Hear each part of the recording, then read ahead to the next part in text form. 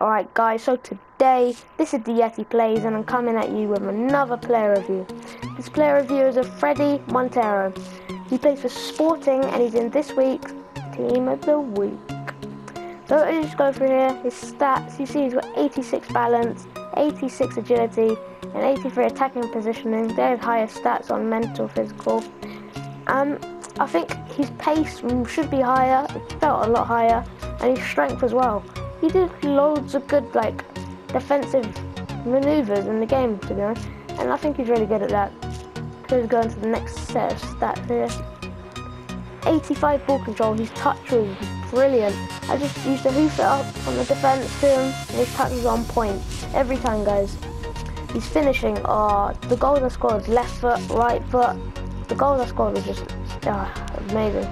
His long shots didn't do, any, didn't do much long shots with him to be honest. He has 82 shot power, I think that's right there. But his long passing, I didn't really do too much passing with him. He's just a great finisher, guys. Um, he's really small, and he's got four-star skills. Oh, the skills I was doing with him, guys.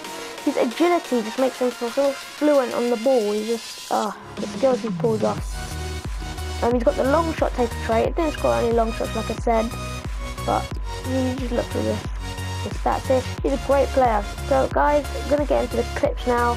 Just watch his skills, watch his goals, everything, and just make sure you buy him. He's that cheap.